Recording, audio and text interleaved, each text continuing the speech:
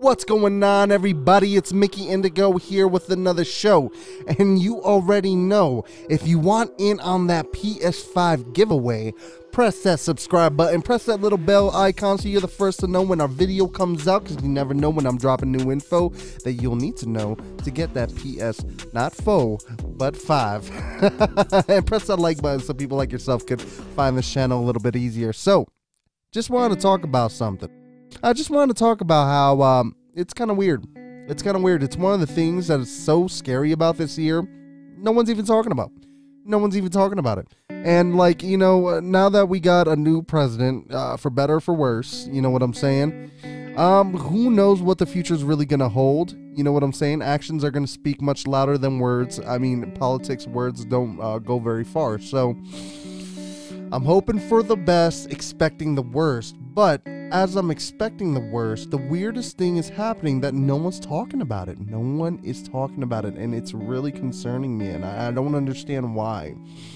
Now, obviously, our former leader of this country um, said some uh, crazy things that got a lot of people riled up, um, and you know they really put their uh, livelihood on the line. Um, if I were to see that again, I would hope it's for Medicare for all or, or, or some sort of message, um, not something without any message or meaning. But regardless, that thing did happen. Um, and it's unfortunate because obviously the person who was getting uh, these people riled up didn't even have their back at the end of the day, it looked like. Um, so that really does suck. Uh, but I do have to say, though, I do have to say this. Uh, the one thing that really scares me is how Twitter and uh, YouTube and Facebook was just able to just take them out, just rub them off the internet just like that. And I think it's kind of weird, man. I think, uh, you know, a lot of people are cheering that on. And I understand your reason for cheering it on. And I don't really blame you, but at the same time, I need you to open your eyes. The reason I say that is because what gives Twitter and Google and all these other platforms the ability to say whether or not the leader of our country should have a voice? What gives them authority over the government? And, you know, you guys could go ahead and, and make the argument yeah, it's, it's a private network, it's a private system. However, However, these are used as utilities nowadays. You know what I'm saying? I mean, our officials are, are using it to send messages and whatnot and, and, and to make announcements. You know what I'm saying? It's considered a utility, but it's it's considered a, a private company when it seems to be convenient. And, you know, uh, they could always say, oh, go ahead and make another platform. But they already know they have a monopoly on it. They already know.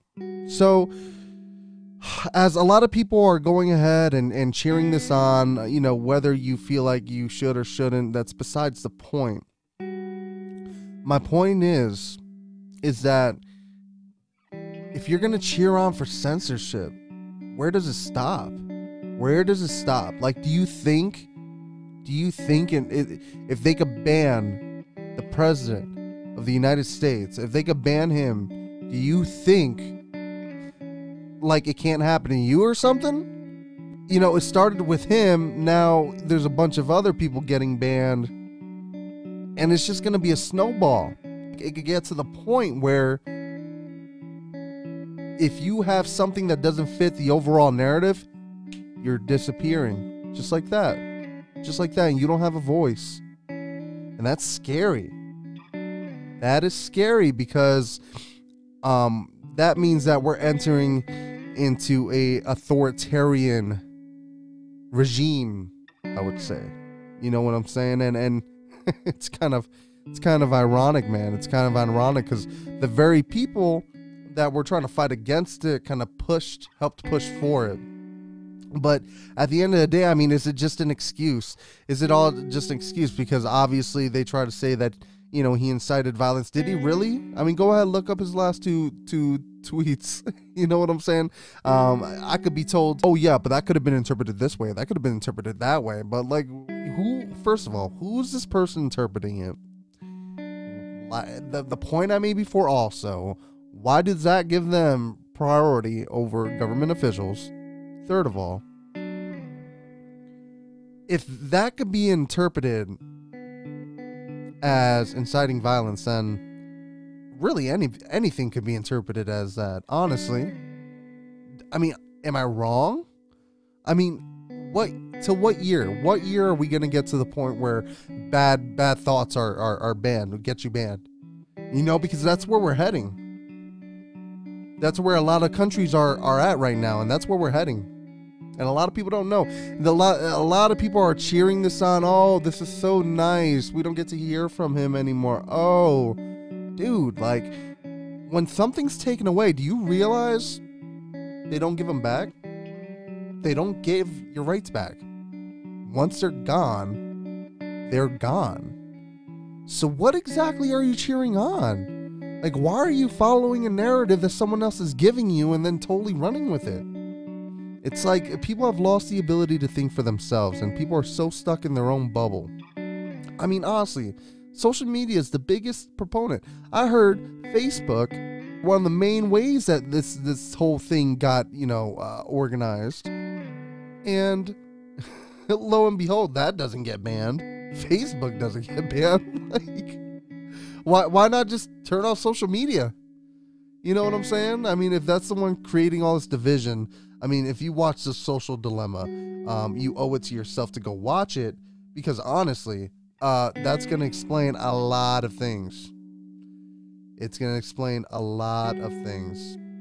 But look, guys, I hope y'all stay safe. I hope y'all recognize what you're asking for and what you're cheering on. Because at the end of the day, the people on the TV don't have your best interest in mind.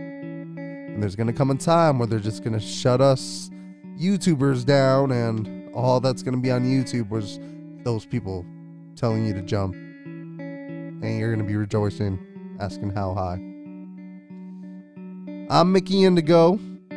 This has been a pleasure. Like I said, subscribe if you want in on that free PS5. I love you all. Please like the video. And I'll be back, guys.